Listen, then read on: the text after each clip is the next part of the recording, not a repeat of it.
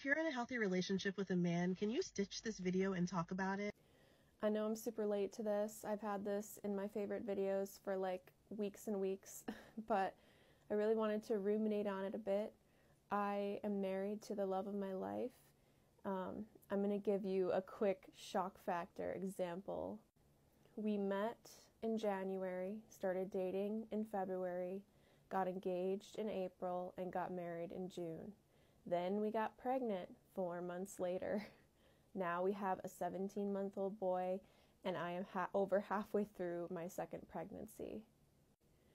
I will be straight up and say I don't think that moving fast is healthy or safe for a lot of people, but in our scenario, it was divine. It was the only way that it could have gone and should have gone, and it's been a dream just for our context, we are believers, we're Christians, and when we were dating, we were kind of looking for a marriage partner rather than just trying to get to know people or have fun.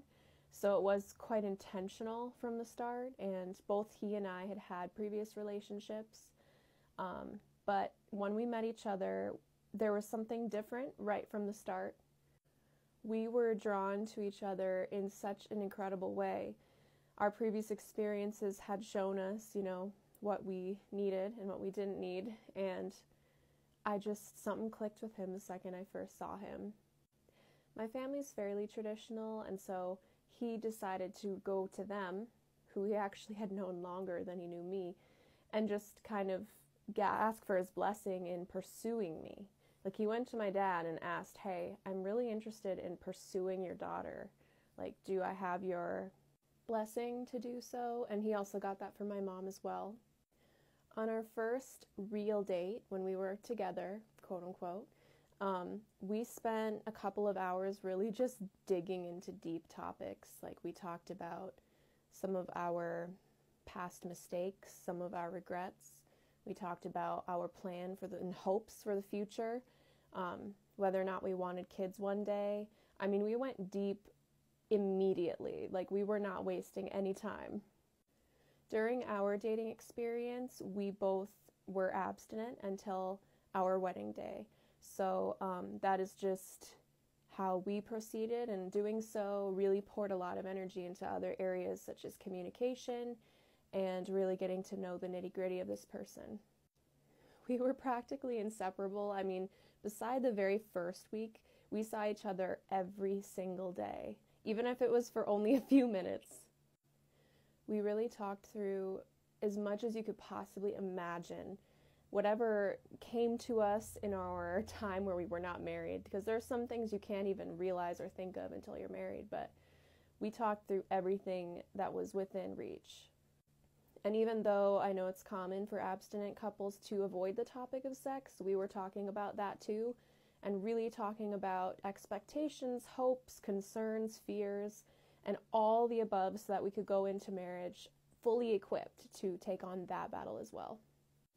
Having a healthy relationship, it requires two people who are willing to be humble and willing to lay down their immediate knee jerk emotional responses in order to care more about their partner's feelings. And that goes on both sides it takes me, the more communicative person in the relationship, to lay down my need for him to know things without me saying them. I have to ask him if I need something and let him learn me so that in the future he then doesn't need to be told anymore. But doing that requires humility. And it also requires the ability to have emotional intelligence about your own feelings. Because I feel like a lot of us run into like we feel such intense things, but we can't quite find the root exactly. We can't find it in the moment. And that is so important to do. One of the best things you can do is when you're feeling hurt in a moment, stop before you say anything and really think on it. Think, what is the reason why that hurt me? Is that something that I need to communicate with him so he can adapt accordingly? Or is it something about myself and realizing that I need to work on? And then in that moment, as soon as you're ready, you share that with them openly and vulnerably Instead of pointing out their flaw or the issue at hand, you say, Right now, I'm really struggling with what just happened a few moments ago, and I think this is a why. So basically, we've just built our our marriage on constant and thorough communication and doing so in a way that is well received. Not just talking more, but talking more in a way that can be res- absorbed and that is respectful to your partner. On the other end, when you are the person who did something to bother someone and they're coming to you, you have to resist that initial urge to be defensive, upset, to feel like they're overreacting. Instead, you have to relax and really hear them, listen to them, and you can acknowledge if there's a wrong that you're aware of right away. And otherwise, you talk through it. You reason through maybe why you did or said a certain thing in a way that is not charged or directed in any way. And you just kind of let them into your mind. I think a lot of people struggle in relationships because they don't even thoroughly understand their own minds and hearts. So, to be able to stop and explain that before they hurt somebody is almost impossible for a lot of people. That, I believe, is why so many marriages struggle, especially in that first year as they're adapting to each other. Thankfully, in our case, since we did so much work before meeting each other to be a very good partner, a receptive and caring partner, we didn't have that miserable first year. In fact, it was practically pure bliss. Like, it was perfect.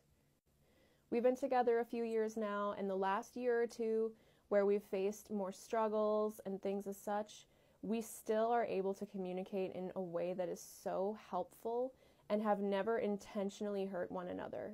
Not once. Specific to my husband, me going through pregnancy, birth, and postpartum the first time was extremely rough. I could hardly lift a finger at home. I couldn't even be touched or pecked for six weeks straight in my early trimester of pregnancy because I was so sick. I was repelled by affection and repelled by the smell of my husband, which was fine and dandy before, but when I was pregnant, it was not for some reason through that time, he was giving 90% and I was giving 10%. But I was giving 100% of what I had, and he was giving 100% of what he had. Together, we got through that season without ever lashing out at one another, without ever hurting each other intentionally. And coming through a season like that together, it really binds you with the person and realizing, wow, you are amazing you are selfless, caring, and a servant, a servant's heart, you know, which is something that you really want in a partner. And of course, in a healthy relationship, when there's a time where one partner is unable to give so much, then when they're capable of giving again, they feel a strong, compelling desire to do so because they're so appreciative of that partner sticking through the hard times and not making them feel guilty and not making them feel unappreciated for what they are doing. I would say that for us, our faith in God is a huge, in fact, the huge contributor to how we're capable of having such a healthy and blessed relationship. But I also understand that a lot of these are tangible skills that anyone can learn and develop and apply.